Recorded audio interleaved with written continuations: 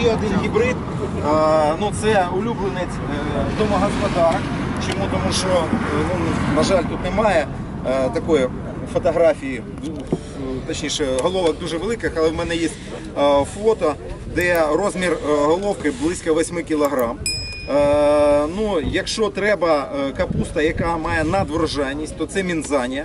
Мінзанія формує дуже крупну головку, але при цьому ми повинні розуміти, що ми не повинні її загущати більше 30 тисяч рослин. Гарна стійкість до е, трипсу має, ви бачите, е, навіть в недозрілому стані таку трохи плескувату форму, неперевершені смакові властивості. Віктор, я дам скуштувати. На смак гібрид практично нічим не відрізняється. А Я буду давати тим, хто не куштував кукурузу, спробуйте. На смак майже як яблуко. Дуже солодка, дуже смачна. Саме для е, руки обережно, для споживання в свіжому вигляді. Ну, дійсно дуже-дуже смачна. Чи ні? Чи я помиляюся? Вкусно? На смак практично, да, звісно.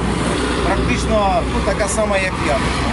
Тому я можу довго розказувати про капусти наші, їх асортимент досить широкий, але е, я повторюсь, є проблема з тріпсом, вирішуємо цю проблему двома гібридами 33-36 і Бухарест. Є проблема з е, тим, що ну, не всі капусти витримують стреси влітку, це ларсія. І ну, якщо вам дійсно хочеться дуже вдома смачну капустину, е, для того, щоб ви зібрали одну капусту, накормили себе, сусідів, свою сім'ю і так далі, то це е, мінзанія.